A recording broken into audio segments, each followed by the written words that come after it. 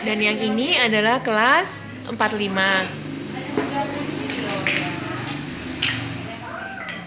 Ada di sentra balok. Sekarang sedang mulai membangun.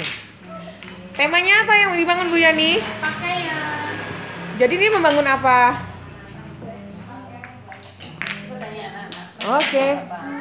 Siapa nih yang mau ditanyain sama Ibu? Ah, Mbak Kalisa.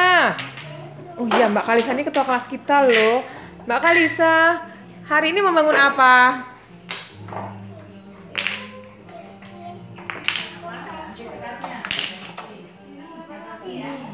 Bikin apa, Nak? Oh, toko baju. Hari ini bikin toko baju. Kalau Mbak Ara bangun apa? Oh, toko baju juga. Iya, toko baju karena hari ini temanya adalah toko ini pakaian, subtemanya pakaian. Membangun toko baju. Wah, seperti apa toko bajunya nanti nih ya?